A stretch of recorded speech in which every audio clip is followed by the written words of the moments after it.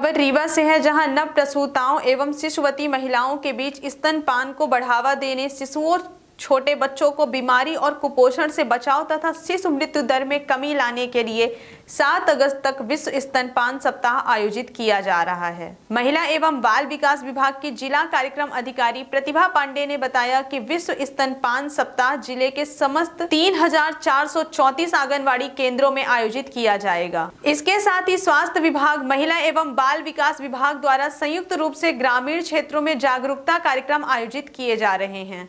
उन्होंने बताया कि विश्व स्तनपान सप्ताह 2022 की थीम स्तनपान शिक्षा और सहायता के लिए कदम बढ़ाए हैं। जिला कार्यक्रम अधिकारी ने बताया कि विश्व स्तनपान सप्ताह आयोजन का मुख्य उद्देश्य प्रसूताओं और शिशुवती महिलाओं के बीच स्तनपान के लिए जागरूकता बढ़ाना है। उन्होंने कहा कि स्तनपान से बच्चों के साथ साथ माताओं का स्वास्थ्य में सुधार होता है। बच्चों के अच्छे स्वास्थ्य के लिए स्तनपान कराने का दायित्व माता के साथ साथ परिवार व पिता की भी होती है।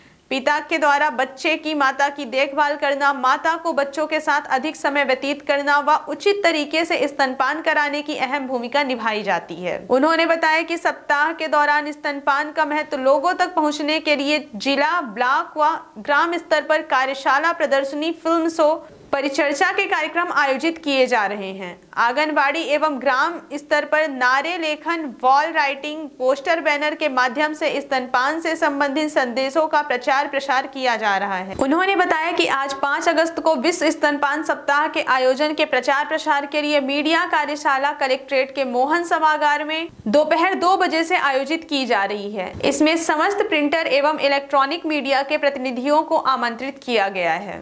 Bureau report Virat 24 news.